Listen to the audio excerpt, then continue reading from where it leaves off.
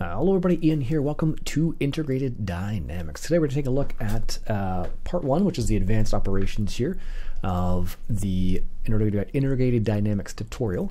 Uh, so advanced operations right here. We're going to go through these three advancements right here. So the very first thing is we need to build a list with the integers 1, 10, and 100. So let's go ahead and bring our portable logic programmer up here. I'm going to go ahead and go to list right here. And we're going to go ahead and look for the integers right here. Hit the plus sign right there. And we're going to need to have an integer of 1, an integer of 10, like that, and an integer of 100. So, of course, integers are just whole numbers in this case right here. Boom, right there.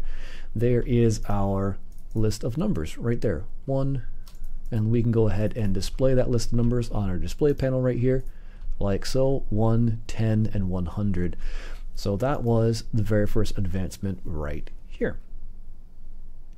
All right so next step here is we're going to go ahead and get the item origin identification so let's go ahead and bring our our logic programmer programmer up here. I'm to go to items we're going to drop the squeezer in right there like such or whatever mod and that's going to give you uh, the item card itself. Then we're going to go to the mod right here, and we are looking for this input right here, which is the item output string. So let's go ahead and put our variable card in there like that, get our string out like that.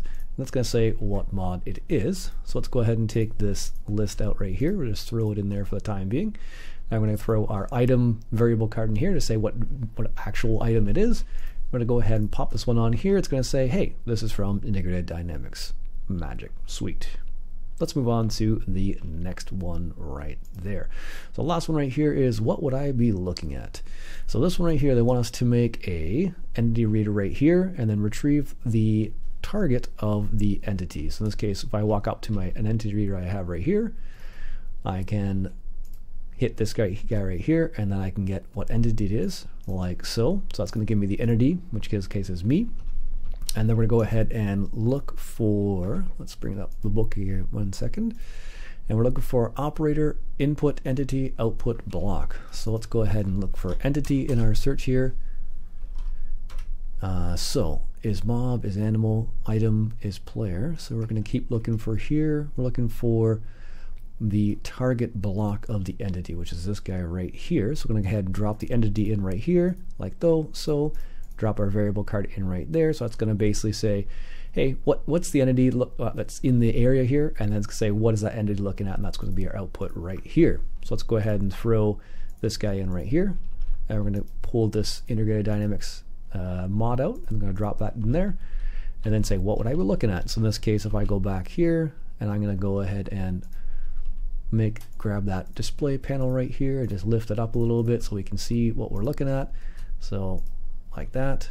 And then I'm going to drop that variable card back in here. And hey, I'm looking at a logic.